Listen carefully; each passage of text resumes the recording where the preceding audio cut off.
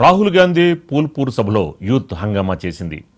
జనం స్టేజిపైకి దూసుకురావడంతో బ్యారికేడ్లు కూడా ధ్వంసం చేశారు యువకులు.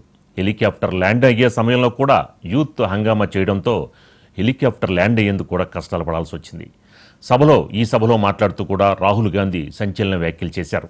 యూపీలో బీజేపీకి ఒక్క సీటు మాత్రమే వస్తుందన్నారు రాహుల్ గాంధీ. మరి ఏ అంశాలను బేస్ చేసుకుని బీజేపీకి యూపీలో ఒక్క సీటు మాత్రమే వస్తుందన్నాడు అనడంతో బీజేపీలో మాత్రం దీనికి సంబంధించి వెంటనే కౌంటర్ ఇవ్వడానికి కూడా తయారైంది బీజేపీ.